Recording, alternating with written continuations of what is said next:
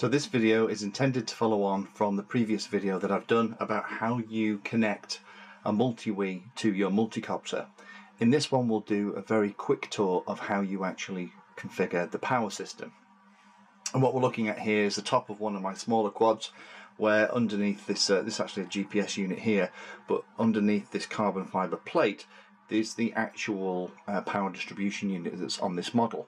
And you can see that the ESC cables come up from each of the arms into this top plate.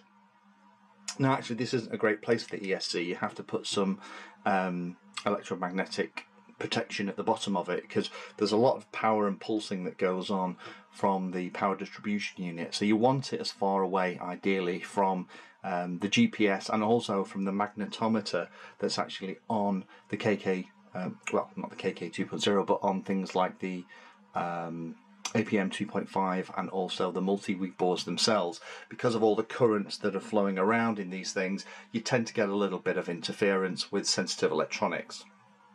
So what we'll do is we'll actually have a look at the power system. So here it is in all its glory, but don't worry, it looks a bit complicated. We'll actually go through this uh, piece by piece. So if we take it back to its simplest form, where we have one connection um, into the um, multi-Wii board, as we discussed in the other video, you have to make sure obviously that you're plugging in the right ESC for its location into the right pins on the multi-Wii and then you add the other three ESCs into place. So now we have them all plugged in and we're ready to do the power system. One of the things that you have to think about though is what kind of battery eliminator circuit you have in your speed controller. The speed controller will come with one of three types of battery eliminator circuit. It'll either come without one at all, or it will come with um, a linear, or it'll come with a switched.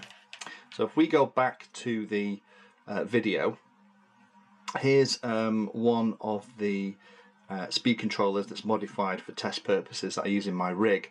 Now this one is a Hobby King 20 amp BEC and it has something called a linear BEC. Now the linear BEC means that it's a very simple um, piece of technology and the way it gets rid of the excess voltage from the battery down to the 5 or 6 volts that the electronics on the rest of the craft needs is by dumping that excess power as heat. So what's behind this big sticker on top of the BEC, uh, top of the ESC, is actually the heat shrink. And under that is a, um, a big heat sink, which is a big slab of metal. Now the reason that's there is that a lot of the uh, heat that you get in an ESC actually comes from the battery eliminator circuit, not from the switching itself. If it's a linear BEC, then you can plug all of the leads in side by side with all three wires without any problems. If, however, it's a switched BEC, then on all but one of the connectors, what you do is you, using a pin, you lift up the red wire and withdraw it out of the connector and just keep it back there with a piece of tape or ideally um, a little bit of heat shrink. And the reason you do that is you can't run the switched BECs side by side, you can only run one at once. If it's linear, it doesn't care and you can just do it. So with that being said, let's actually do the heavyweight power system. So we'll put the power distribution board in the middle and it'll probably look something like this. It'll either have pads on it that you solder uh, directly to I'm not a big fan of those. It means when you have to swap out components, then you have to get the soldering iron out, start taking things apart. Um, I prefer the ones that have little three and a half millimeter bullet connectors on them. So in this little pretend diagram, I've made one that has that. So what we can do now we have those um, bullet connectors is we can very easily just plug in each of the uh, power leads into the corresponding connectors on the power distribution board. So plus the red wires all go to the pluses, the black wires all go to the minuses. And then outside, of course, is you have the flying lead from the power distribution board that the, you then plug in the battery.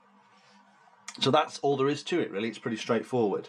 Once you've got to this stage, then you're ready to power up your model.